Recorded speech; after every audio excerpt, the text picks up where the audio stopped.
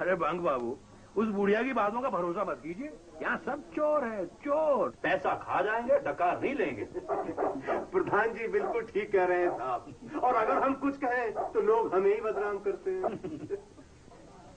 बापू। हाँ बेटा ले आओ। शर्माओ नहीं ले आओ। जाओ। लीजिए लस्सी पीजिए। जी नहीं मुझे नहीं चाहिए शुक्रिया।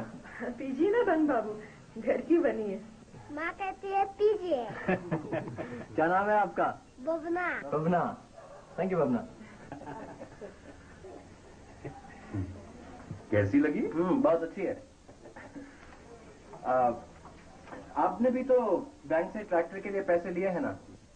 वो वो तो पिछले बंग बाबू का टारगेट पूरा नहीं हो रहा था। तो ज़बरदस्ती हमें थमा गए क्या करते साहब? लेना पड़ा।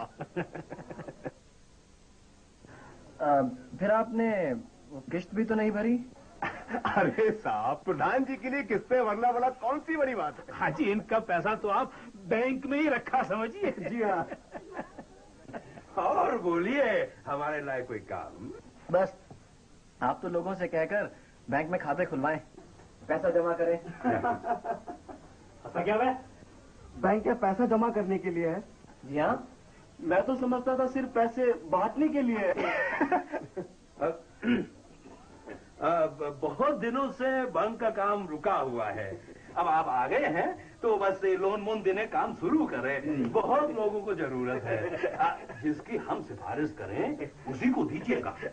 हम आपको बता देंगे कि लोन किसको देना है।